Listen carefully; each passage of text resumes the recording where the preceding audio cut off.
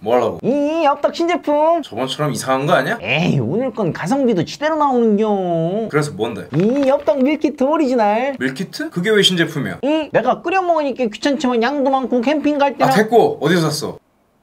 배달 배달? 배송비 붙겠네 얼마야? 4인분 15,000원에 배달비 2,000원 뭐뭐 들었어? 이 떡, 어묵, 소시지, 소스, 치즈 다 두 개씩 아 됐고 어떻게 먹어?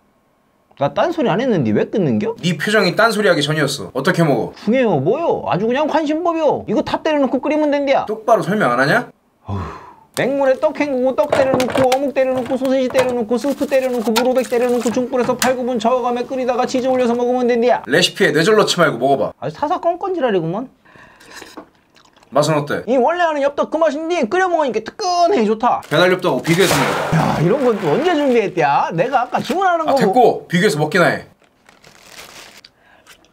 이건 항상 먹던 맛인데 떡이나 오뎅이 좀 불어갖고. 야, 지금 바로 끓인 게 더 맛있다. 2인분 양은 제대로야? 소식하면 2인분 맞고. 성인 남자는 혼자 먹지. 그래서 또 사 먹어 안 먹어? 야 끓이니까 맛있는데 귀찮고 덥다. 난 중당 추가해서 허니콤보랑 먹을려